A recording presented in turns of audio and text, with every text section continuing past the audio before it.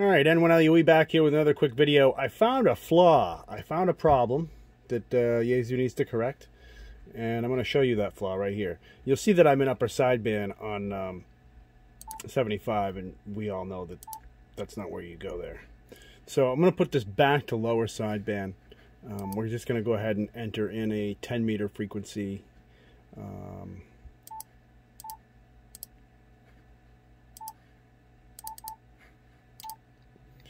All right, and you can see we've just entered into lower sideband. We're going to go to upper sideband. We're to go back to um, 75.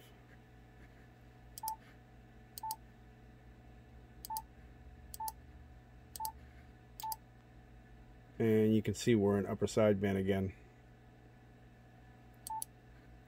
Lower sideband. Let's go back to 10.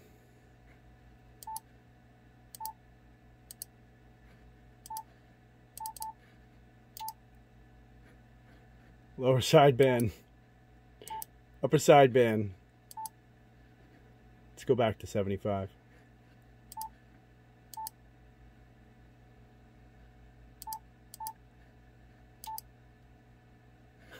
Upper sideband. All right, Houston, we have a problem.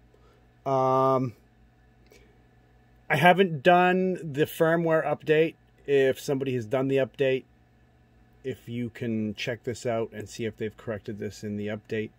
Um, let me know in the comments below. That'd be great. I'm kind of curious. I'm going to go ahead and work on getting this thing update updated and see for myself if that corrects it. But uh, in the meantime, if somebody else has the answer to this, let me know. Thanks. 73.